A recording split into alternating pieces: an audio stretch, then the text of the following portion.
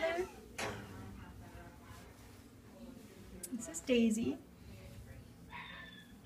Um, she was a normal, healthy, active kitten until a few days ago when in her new home she started showing neurological symptoms. So we are running some tests and waiting to see what's going on with her. I'm hoping that she improves. Right,